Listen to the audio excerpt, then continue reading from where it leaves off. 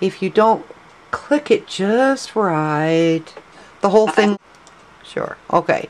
So any the whole yellow thing will disappear. And this has happened to me more times than I can tell you. So now just start over. Just double, oops, no, don't double click because then you get all of that. And then now you have to find a spot to click in to make that go away. Okay, so just single click in to get that yellow box. Start over. I have an older tool from my stash. Okay, and then I remembered that it was somewhere back around there, so now I'll listen.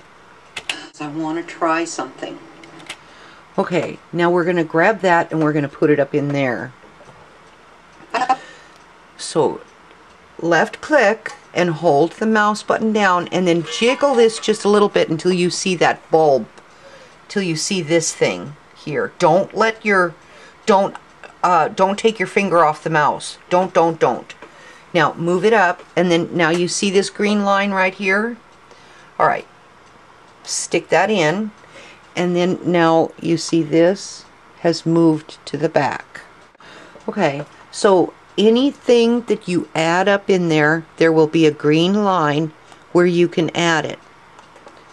And anytime you want to go back and watch the video to see if it looks okay, if it's cohesive, then just go up to the top, press the space bar, and then watch what happens. And you can edit in in this mode here. If if you don't like this flower here then no. Ah. Okay just highlight the flower and press the delete key. Boom it's gone okay? Now it's not gone forever. You can still go back down into your photos and find it and drag and drag flower thing.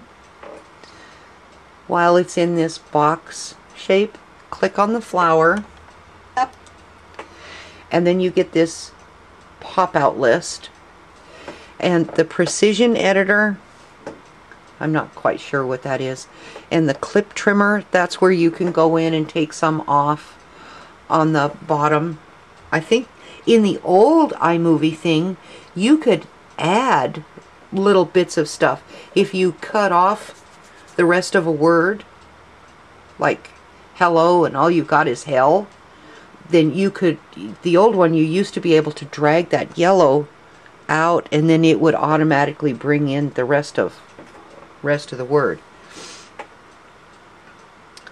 The clip adjustments in here you can click you can do, you can make it go faster.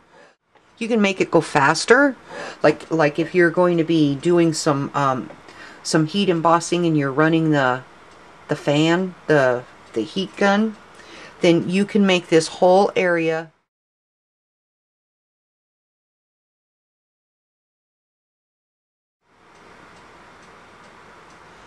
and then click done. And then you can watch this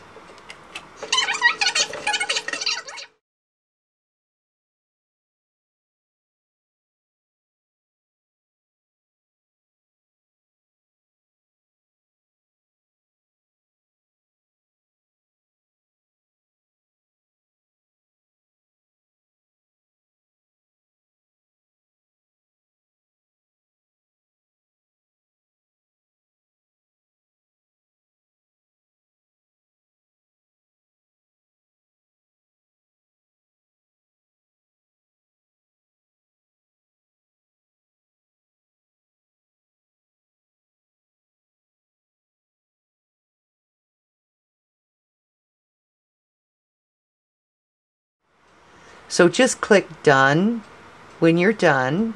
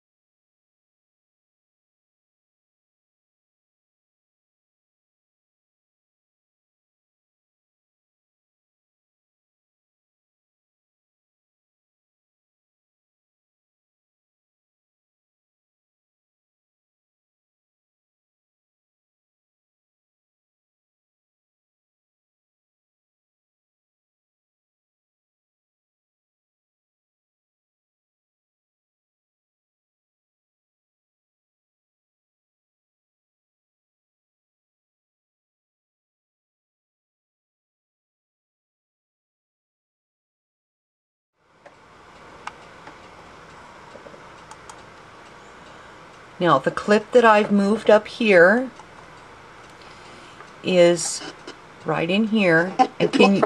Alright, I'm going to mute this for right now. Alright. Can you see the orange bar right in there? The orange bar. I'll have to look at this video to see if you can see it. But this this orange bar means that that's a section of your video that has been moved up in here. And as you do more and more and more, as you take out more, then there that orange bar will be kind of all over the place. Big long section, a little bit, you know, it'll it'll hop around in there. Okay, so just continue doing that, listening, picking out what you want, highlighting it, dragging it and dropping it up there. Okay. Now, so go over here to this little bar and you press the title button and these little things will come in. Now, if you want to add the little pop-up things, that's okay. You can do that. That's these these little doohickeys here. So you can grab one and put it up there. Oh, all right. It's it's throwing it out because there's already a tag thing in there. So, um, I'll put it up here in that one. Now, you see, do you see the blue that goes when I move this along? It's just the one third, all of it, and then the other third. This is a marker where this thing pops up. This thing will pop up during this transition. Okay, and then you see over here, you go in and and you click here and just type in whatever title you want. Hello there. Okay, and then click done. And then come over here, press the space bar. Hello there. Okay, and you can make it be the whole thing. Just click on on that thing up here and you can pull it along until it goes the entire length. You see now that green line is all the way across. Okay, so just go back over and and then hello there and it's going to stay for the duration of the of the thing.